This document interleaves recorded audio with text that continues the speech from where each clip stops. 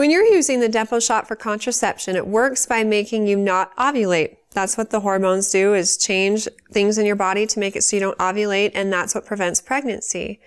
You mentioned that you took an ovulation um, test after receiving the Depo shot and it was negative and that's good.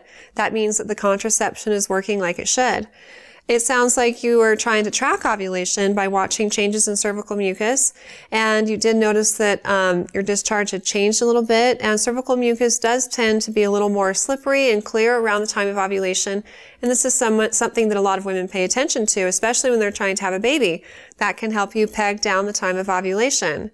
Now, if you're using contraception, that's probably not something you need to do because the contraception that you're using is pretty reliable. Um, but if you're wanting to have a baby and you're going to stop using the Depo shot for contraception, then that's something you can start doing is watching for some sort of pattern in your cycles and watching for a change in cervical mucus. If you have more questions about it, don't hesitate to ask your doctor who can give you more advice based on the specifics of your situation.